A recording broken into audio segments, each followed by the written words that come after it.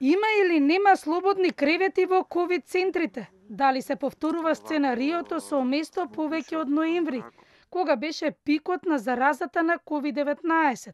Според официјалниот извештај на Министерството за здравство, во ковид центрите во Скопје 917 пациенти се во ковид центрите, а само има 290 празни места. Во последните 24 часа се хоспитализирани 28 нови пациенти. Според извештаите на Министерството за здравство, во земјата се лекуваат 567 пациенти со ковид. Од вчера до крајов на неделава се пуштаат сите оделенија на интерните клиники да бидат повторно ковид оделенија, а прием на пациенти има и во модуларната болница на инфективната клиника.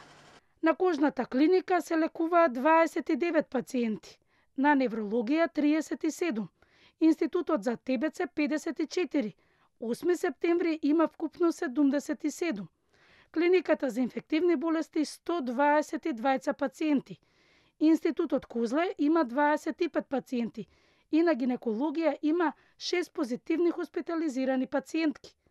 Според извештајот на Институтот за јавно здравје, за една недела се зголемиле за 23% позитивните случаи. Според возраста, најзастапени се оние над 60 години, 23%.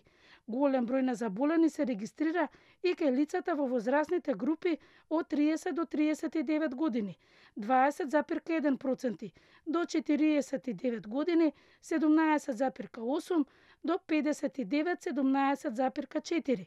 Најмал број е регистриран кај децата од 0 до 9 години.